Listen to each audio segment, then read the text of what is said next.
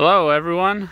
Uh, today I thought I'd take a moment and talk about a, a new 7400 MP from Crown Royal. Uh, just got this installed at my in-laws. So I still have my 7300E if you guys have watched my other videos.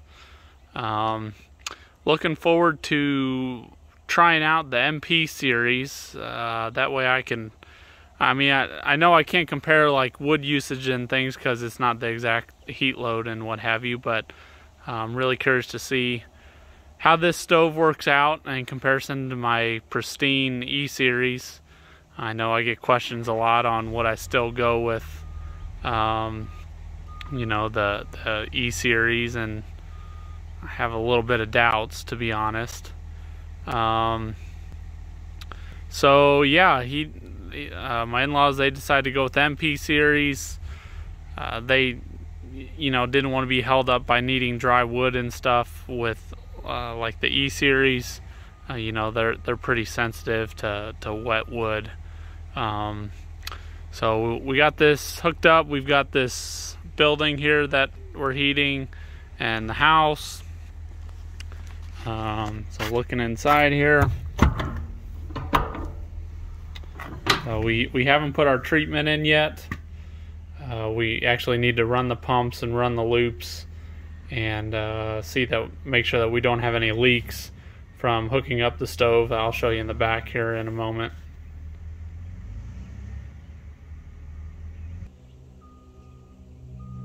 So taking a look inside here, um, you can see your grates on the bottom.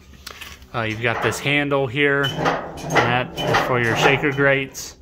Um, I know everybody on the Facebook group has been kind of messaging and, and putting posts up. Uh, you know, everyone's starting up their furnace this time of year, first times and things, and some people are struggling to keep a fire going. And most people's recommendation is to uh, stop shaking the grate, basically. Um, you know, don't don't shake your coals out and things like that. Maybe do it just once a week initially at the start. Um, so don't don't do this every day or anything like that. That's what people are saying. We'll we'll have to see. I'll provide more feedback on that. Uh, when you go to load, you've got bypass here, um, and it says to make sure the fan is not on. Um, up here, so unlike a normal wood burner where uh, you know, it, it would just go out from your firebox and up to the smokestack. Uh, this actually has a double bypass up here. Uh, I'm sorry, not bypass, but uh, a double chute. So it comes up from the back through here to the front, up there, and then out the, the chimney. Um, so you got to clean this, I think, every once in a while. I don't think it's very often based on the videos that I've seen. And then, of course, you have your ashtray down here I'll open this up. I don't even know that I've had this open yet. So there you go, your ashtray.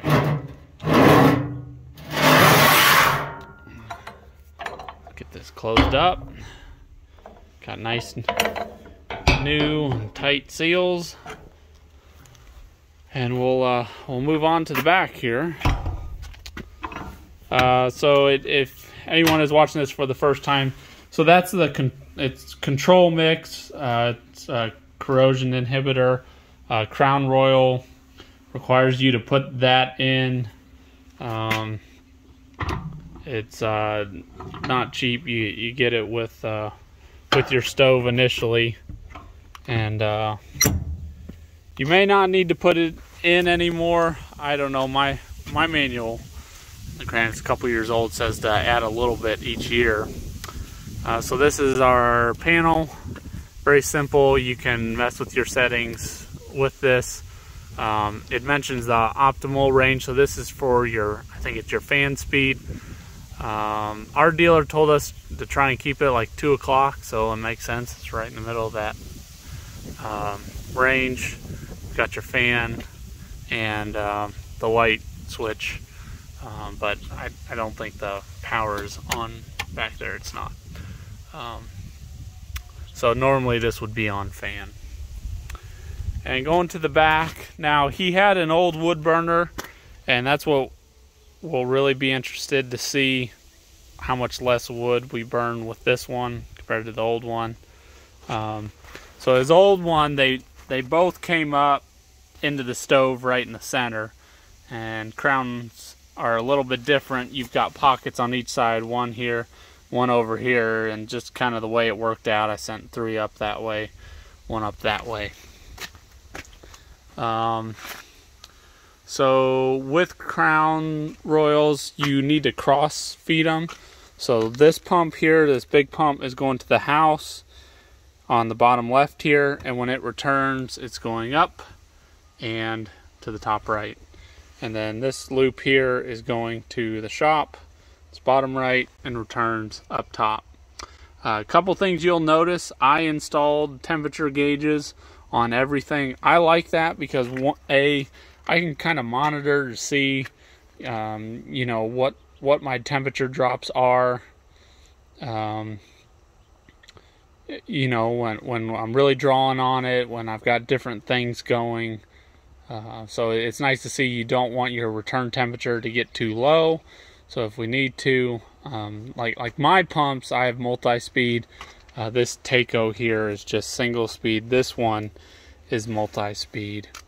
Um, this is a much smaller pump because it's just going in the shop here through two uh, heat exchangers and, and back, so not much.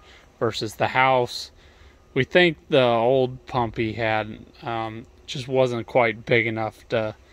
We weren't getting enough heat to the house because we ha he has radiator heat in the house. Um, what else? Uh, so yeah, so I've got temperature gauges going in and out. Um, I put a Y strainer here. I thought that would be kind of nice before it went into the house. Uh, I wanted to put another ball valve here so I could isolate here and here on the pump in order to pull this out without draining much. And I just wasn't going to have enough room. And it made more sense to me to have it on, you know, your your feed line. It didn't make sense to have it on your return line, in my opinion. Um, so I I, I think here, if my logic is correct, you know, if I isolate here and I isolate up top, then um, the the only water I would lose should be, for instance, like in this line from here all the way up to here, which, shouldn't be too much.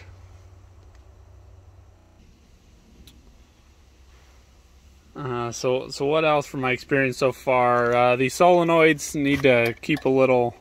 I put like dielectric grease on them, on both of these. Uh, so we gotta gotta keep them in good condition. And yeah, that's that's about that. So hopefully in the next couple weeks here we'll get a fire going uh, and start seeing what she's made of. Uh, I'm really looking forward to it. I'm really looking to be able to, help people and you know, hopefully my thoughts on the differences and, you know, if I had to do it all over again, what which I would go with. Um, and because of course, you know, the grass is, always seems to be kind of greener on the other side. And we talk about, you can check out my other video. Um, I have a 7300E series pristine, totally different animal, just totally different in its design and operations, if you ask me. Um, so, so last thing, the the pumps, we've got them so that they both plug in here, um, and then the cord from the old wood burner was too short, so we plugged in a switch here so that technically we could kill switch to everything here.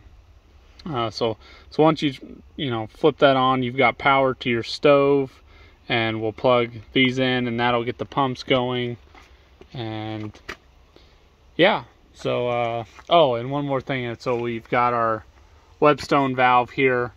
Um, like I've got this on mine, and this is where I end up taking my water sample from. Um, so that that's kind of convenient to have, and um, you, I mean, of course, you can fill from the top of the stove. You can always hook up a hose there and fill it if you wanted to. Uh, so we got it full of water. We're gonna run it uh, run the pumps, make sure we don't have any leaks before we put our control in.